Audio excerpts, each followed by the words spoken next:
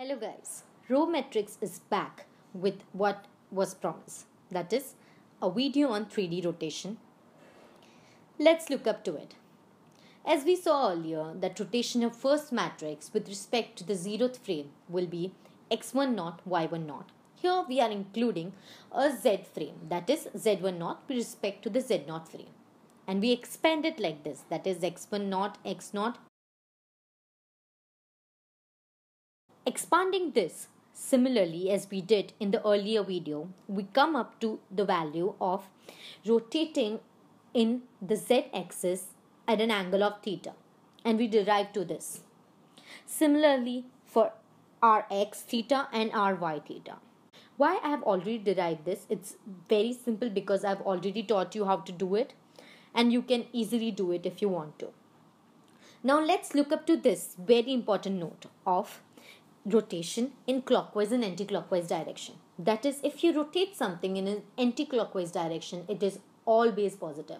And if you rotate it in clockwise direction, it is negative.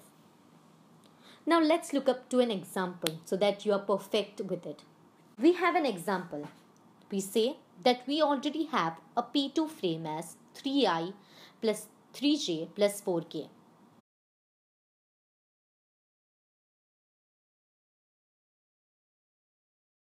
Okay, I think you had paused and you have read the question. As said, we have rotated the first frame with respect to z-axis in 90 degree and with respect to y frame in 90 degree, both in clockwise direction. So we say rz minus 90 and ry minus 90.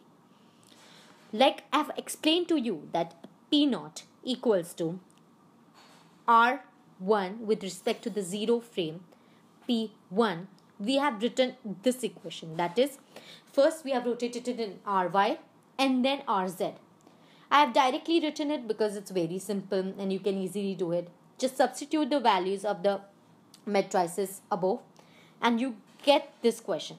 So our initial frame was 3i plus 4j plus 3k i hope you have understood this. If you have any doubts please contact us.